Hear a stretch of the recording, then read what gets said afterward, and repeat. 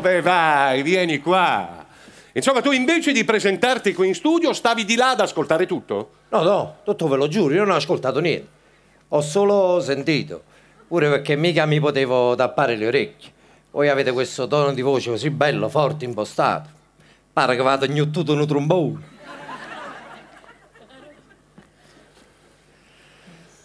E comunque se vi può servire come informazione, qui intorno è tutto bloccato. C'è un corteo di mamme che sfila fuori dai bamboccioni. Questo lo so perché mi hanno messo pure a me a suono tamburo. Hanno detto teneva la faccia di bamboccioni. Una volta superato il metal detector, sali sul pullmanino da accompagnare l'aereo. Attenzione, ce l'hanno buona parte degli aeroporti del mondo, ma quello che abbiamo noi a Napoli ha una particolarità nata in nessuno. E cioè, tu sali nel pullmanino, il pullmanino per accompagnare l'aereo, si fa tutto, giri l'aeroporto, una ventina di minuti, grazie a Dio.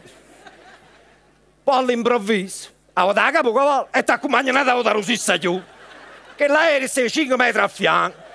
A tu pensi, ma chi si già sta imbriaco a prima mattina? Abbiamo fatto questo fatto per te piste terroristi, senza te ne sta strunzando. Tattarà, tattarà. Dottor, non è per contraddirvi, ci mancherebbe, però anche voi ci siete caduti in questo falso luogo comune a Napoli, Pazziarelli. Eh? Detto, chi a Napoli stiamo chi nei problemi. Per l'amor di Dio, siamo un popolo felice, allegro, però se poi quando ti svegli la mattina per gli affaticati a fare ore di traffico, 20 semafori rossi, ogni semaforo che ti ferma su un che vuole volare, tu appicci da cristallo e chi le sa imparare a lavare presso dal cristallo.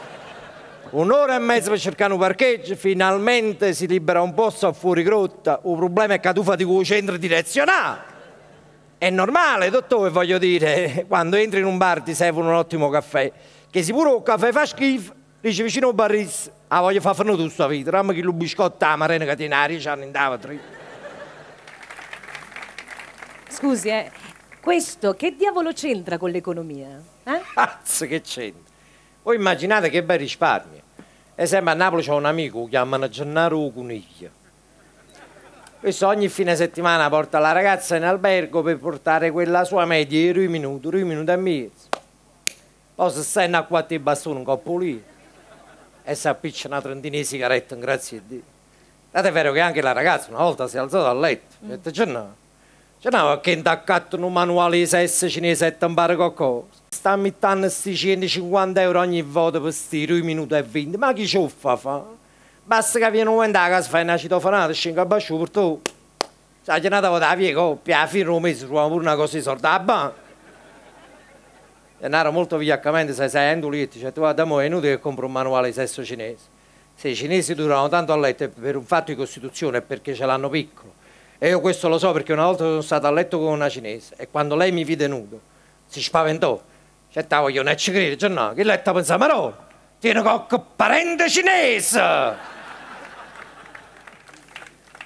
Per l'amor di Dio, dalle mie parti sono delle cose bruttissime. E chi lo nega? Però c'è tanta gente che non ha nessuna colpa di ciò che accade, anzi lo subisce in prima persona. E poi stanno dei luoghi comuni da decenni che sono ridicoli. Sul fatto che siamo un popolo che sistematicamente passa col semaforo rosso e allora tutti gli extracomunitari che faticano il semaforo da noi per chi fatica? I turisti, non stanno manco più. Voi a Napoli siete prima di fermarvi a un semaforo, che nessuno ve l'avevo parabrezza, nato notte, nato avevo pulisci i fari. Dovete credere, una volta fermai con una cabriolet, col tetto aperto, c'è tu, c'è tu, una passata di capo.